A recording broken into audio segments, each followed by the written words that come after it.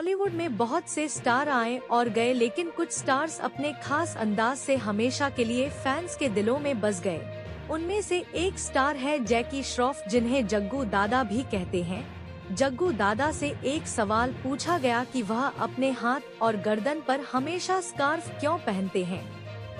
इसके पीछे की वजह बताते हुए जैकी ने कहा, बचपन में मैं हमेशा माँ की साड़ी को पकड़े रहता था।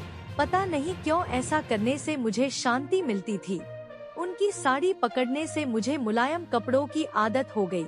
शायद यही से मुझे गले में स्कार्फ या रूमाल डालने की आदत लगी है।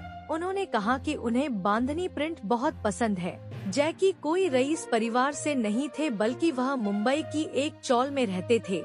किसी ने सोचा भी नहीं था कि एक दिन सिगरेट बेचने वाला लड़का, एक दिन बॉलीवुड का जग्गू दादा बन जाएगा।